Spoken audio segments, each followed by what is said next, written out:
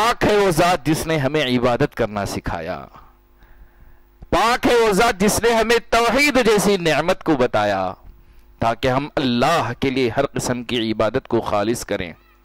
फिर दरुद सलाम हूँ मोहम्मद वसल्लम पर। आप सल्लल्लाहु अलैहि वसल्लम ने दीन को बड़ा आसान करके हमें बताया। दीन में कोई मशक्कत नहीं रखी।